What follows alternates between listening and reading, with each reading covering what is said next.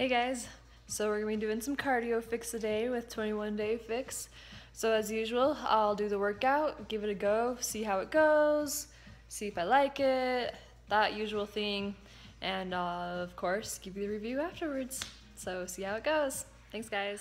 Hey guys, well, you can tell it was a good workout from my hair and the glistening, dripping, nasty sweat on my forehead. So yeah, this was Cardio Fix. It's about 32 minutes, didn't require weights or anything. It was strictly floor work and, you know, jumping around and whatever. But holy crap, I love and hate you, Autumn. Um, so this was, again, Cardio Fix with 21 Day Fix. Um, so as far as my four points go, um, shakiness, didn't really get that, but the sweatiness, uh, yeah, check on that.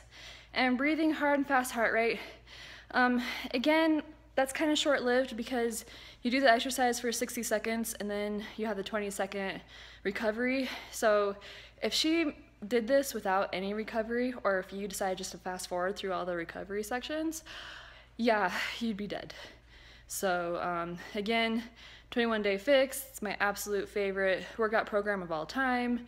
Um, if it's not working for you, you're probably um, not doing your nutrition right. So um, yeah, killer workout.